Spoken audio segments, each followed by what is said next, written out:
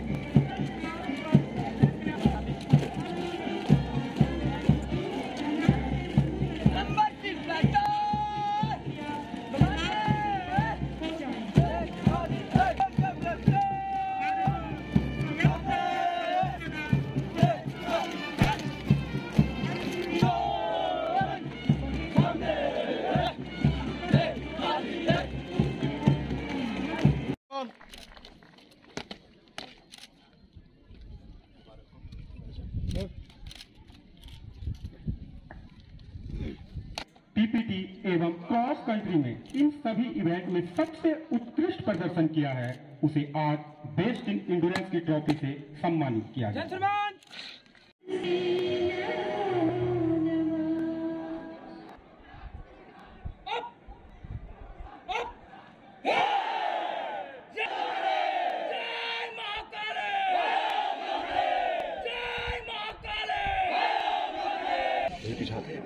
आज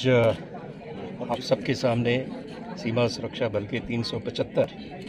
जो नव आरक्षक हैं, अपना चौवालीस सप्ताह का कठिन बुनियादी प्रशिक्षण प्राप्त करने के उपरांत पास आउट हुए हैं। और जैसा कि परेड में भी आपको बताया गया है, इनको विभिन्न विषयों के ऊपर ट्रेनिंग दी गई है, जैसे कि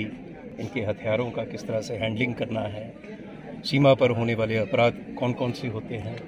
उनकी रोकथाम कैसे की जा सकती है? इसके अलावा इलेक्शन ड्यूटीज़ और कभी अगर प्राकृतिक आपदा आ जाती है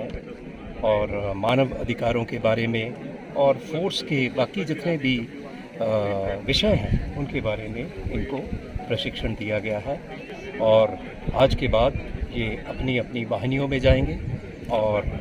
पूर्वी सीमांतों के जैसे कि त्रिपुरा, असम, मेघालय बंगाल उत्तर और दक्षिण बंगाल देन मणिपुर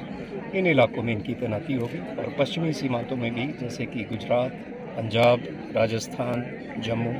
कश्मीर के इलाकों में इनकी तैनाती होगी और वहाँ पर ये अपने कर्तव्य का निर्वहन करेंगे।